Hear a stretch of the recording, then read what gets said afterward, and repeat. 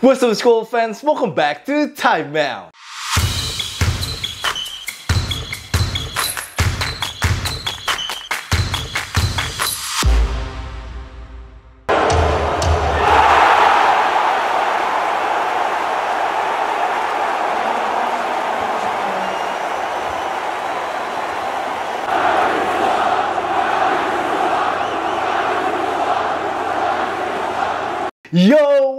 With gang? Dan video barusan bener-bener sums up game 1 of the NBA Finals menurut gue. Di mana Kyrie Irving? Gemeter kayaknya itu.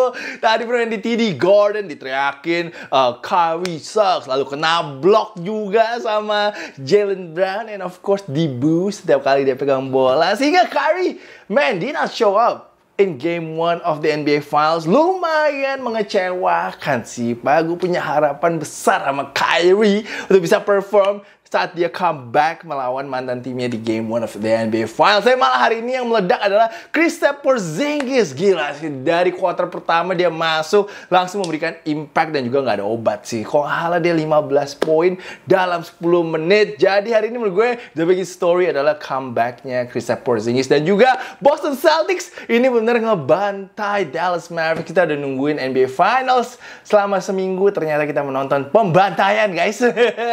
Setelah itu juga kita akan bahas gimana JJ Redick guys. Tiba-tiba kemarin watch ngebom bilang kalau Lakers ini kelihatannya lagi negosiasi dengan Dan Hurley. Waduh, ini siapa yang harus kita percaya nih? Watch atau Shams guys?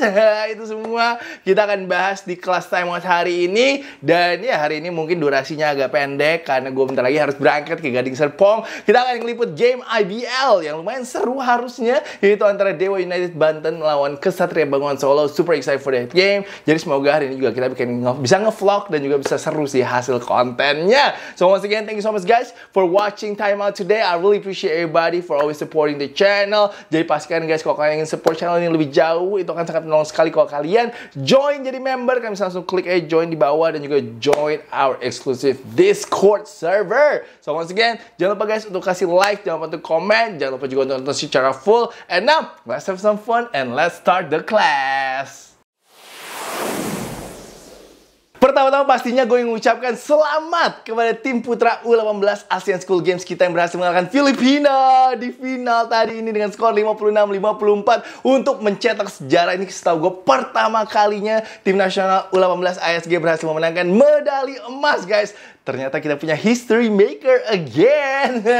so proud of the boys, great job everybody. Of course juga respect baik pada head coachnya yaitu Bang Rifki. Bang Rifki tadi made a big decision menurut gue di kuarter 4 di mana dia dudukin Justin Patrick yang merupakan bintangnya dan juga dia mainin Clifton sebagai point guard. And it paid off though. It paid off. Dan terakhir juga Rano hit a big free throw untuk seal the game. So once again big congratulations kepada timnas ISG U18 for making history. Dan gue gak boleh lupa sih shout out to Tute though Tute man dia jago sih. Jago calm and cool. Poinnya juga tadi lumayan banyak setahu gue tapi gue sayang gak pegang stats ya. Jadi gue gak bisa share kepada kalian siapa pencetak poin paling banyak. But man Daud Rai uh, Rai everybody, man. Just want to say congratulations to everybody for winning the gold medal and making history. Semoga dapat bonus, guys. Itu harapan gue. Kalian deserve, man, untuk bisa dapat bonus sih. Untuk setelah mencetak sejarah ini. So once again, uh, cannot wait to see everybody nanti ini di Jakarta. Once again, semoga bisa celebrate bareng lah ya. history makers. Tapi ya itu dari tim nasional ASG kita yang luar biasa banget. Hanya 12 hari 12 hari persiapan dan berhasil meraih emas dan juga hasil yang maksimal. Oke, sekarang kita akan pindah ke NBA. Walaupun lagi NBA Finals, Lakers tetap mau ada beritanya, guys. tetap mau dibahas sama semuanya, guys. Nggak boleh dilupakan, Los Angeles Lakers.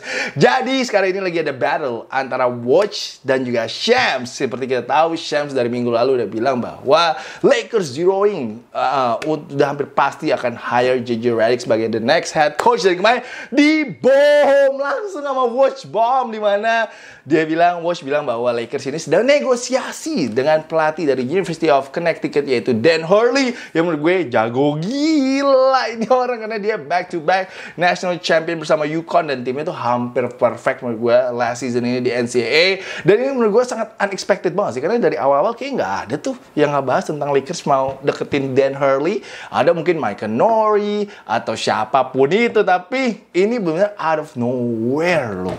Si Watch ngabarinnya Menurut kalian siapa yang bener? Kalau gue sih di timnya Watch ya. Walaupun Shams itu menurut gue dia deket banget sama uh, Clutch Sports. Tapi Shams itu akhir-akhir ini sering miss ya kayaknya ya. Satu tahun terakhir ini menurut gue beritanya dia sering miss. Tapi kalau gue sih lebih percaya sama Watch like I said. Karena lebih wise untuk Lakers ngambil seorang Dan Hurley yang memang udah punya pengalaman sebagai head coach menurut gue.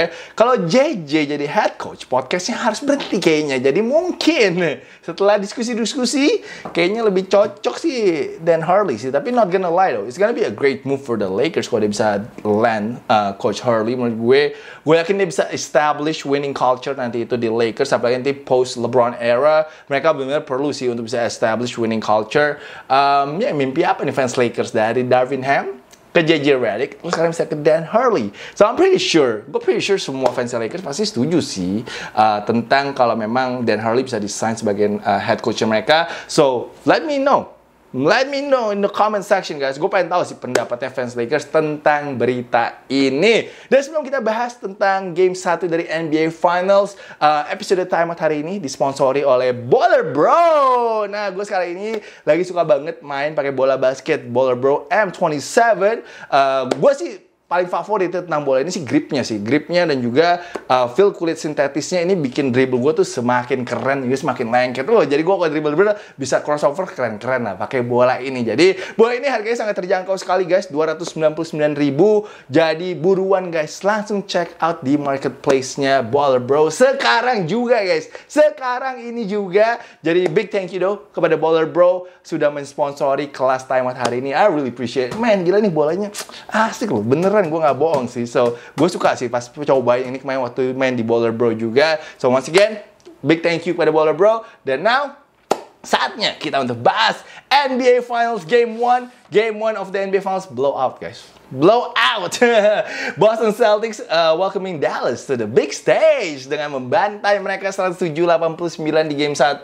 Uh, it was a game of runs uh, di hari ini. Apalagi tadi pertama pas si Kristaps Porzingis main tiba-tiba langsung jadi 27 poin. Uh, leadnya si Celtics kalau halah juga sampai akhirnya bisa 29 poin. Di kuarter ketiga gantian Dallas yang melakukan 29-12 runs. Uh, untuk memperkecil ketinggalan mereka menjadi 8 poin saja. Tapi setelah itu teman kita Jalen Brown a level body step up with the defense with the three point shot. Lalu uh, si Celtics itu melakukan 14-0 run to seal the win. Tapi kita harus kasih kredit juga kepada Joe Mazzulla. Tadi saat si bos, uh, sorry, Dallas Mavericks sudah mengejar sisa 8 poin, man, he took a great timeout took a great time, man. Gue gak tau sih dia ngeliat ke Pep dulu gak? gue pengen tau si Pep ngasih dia ide apa gak tuh pas lagi ketika udah mau kekejar gitu sama Dallas Mavericks.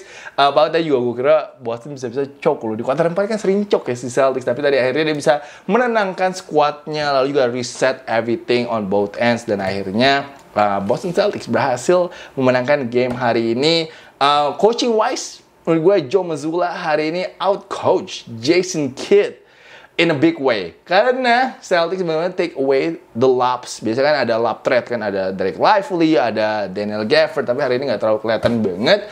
And of course juga mereka take away a lot of corner threes there's no not a lot sih. Gue gak terlalu banyak ingat ada corner three lagi hari ini Dallas cuma 5 kali 3 point doang ya. Jadi uh, much credit though kepada defensive scheme dan juga defensive strategy dari uh, Boston Celtics hari ini.